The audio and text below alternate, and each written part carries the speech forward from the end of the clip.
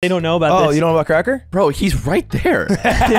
Just fucking don't call him that. Uh, that's the cat's name. Nah, that's not true. Uh, well, I did a marble and it won. Oh, that's the marble that one. Listen- That's And a then- bad cat name. yeah, they're calling me reverse HP Lovecraft because HP Lovecraft's name was the Hard R Cat That's his cat's or name. Hard R Man.